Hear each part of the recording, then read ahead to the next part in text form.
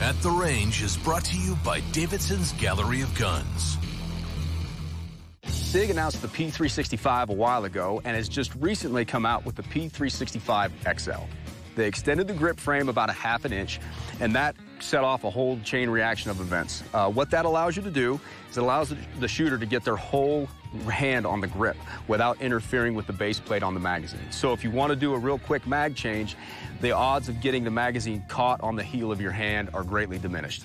Um, they integrated a magazine well into the bottom of this extended grip. So as you drop one mag and go to feed the other one in quickly, you now have a bit of a funnel to help channel that on in there. Um, they've extended the, uh, the beaver tail right here because a lot of guys, myself included, want to grip a little higher on the gun. It helps with controllability, so that's now an option. SIG, when they started developing the P365, started by designing the magazine first. And it starts at a double stack down at the bottom and then tapers up to a single stack at the top. SIG has three patents on these magazines, and for good reason. What they allow you to do is get a lot of rounds into a very short space. But you'll notice how the magazine tapers up at the top. When you go to grab the grip, it gets skinny right where your thumb and your index finger meet. So what that allows you to do is get a very narrow, very comfortable grip on the pistol. It doesn't feel like you're grabbing the fat end of the baseball bat. So enough yammering about this, uh, this, this awesome grip frame. Let's put a few rounds on steel, see how it does.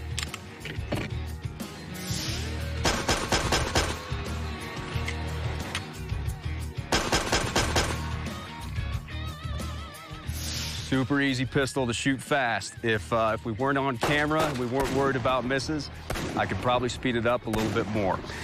Uh, the 365 XL, it's got a slide and barrel that are about a half inch longer than the regular 365.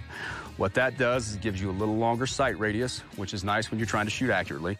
Uh, it also makes the pistol more concealable. Now, that might sound counterintuitive, but when you get those little stumpy guns, uh, if you carry them appendix in the front of your pants, what'll happen is if you got a little little love handle here, it'll make the gun roll out and it'll cause it to print. So by extending that barrel and slide, it gives the gun some leverage, allows it to sit nice and flat, and it conceals a little bit better.